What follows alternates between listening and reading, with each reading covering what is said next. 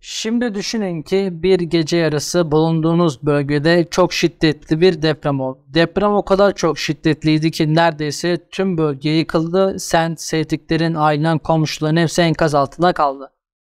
Yardım bekliyorsun saatler geçmiş ancak bakıyorsun yardım yok. Hiçbir güvenlik ekibi, AFAD, Kızılay, Yakut gelmemiş bulunduğun bölgeye. Depremden kurtulan vatandaşlar kendi imkanlarıyla, elleriyle kazıyarak, taşları kaldırarak sevdiklerini kurtarmaya çalışıyor. Yani bir bakıyorsun kepçe yok, operatör yok, hiçbir şey yok ortalıkta. Yani böyle seni ölümüne terk etmişler. X bir parti de olayın yaşandığı yerlere gidip açıklama yaparken olacağı varsa olmuştur şeklinde açıklamalar yapıyor.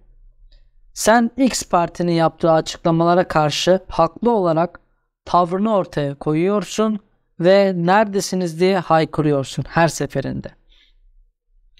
Sonrasında bulunduğun bölgede bir seçim düzenleniyor diyelim ki ve sen senin bölgendeki insanlar olacağı varsa olmuş diyen yani sizin ölümünüzü kabullenip hesap sormayan birine oy vereceğim diyorsun. Bakın herkes istediği bir partiye veya bir parti liderine oy verebilir. Bundan kesinlikle bir durum yok.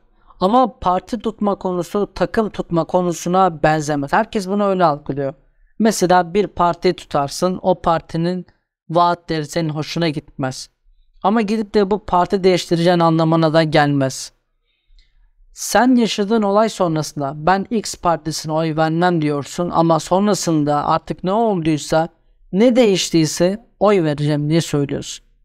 Bir olayda binlerce insanın ölmesi sence normal bir durum mu? Bunu böyle karşılayan çok vatandaş var. Sen de böyle karşılıyorsun ki bu olay normalmiş gibi karşılayanlara karşı oy kullanıyorsun. Kullanacağın, kullanacağını ifade ediyorsun daha doğrusu. Bari siz bunu yapmayın. Takım değiştirir gibi, çorap değiştirir gibi parti değiştirmeyin. Sözünüzde durun ve kime oy verecekseniz verin. Kimsenin gösterdiği videolara, yaptıkları şeylere kanmayın. Her şey senin elinde bunu unutma.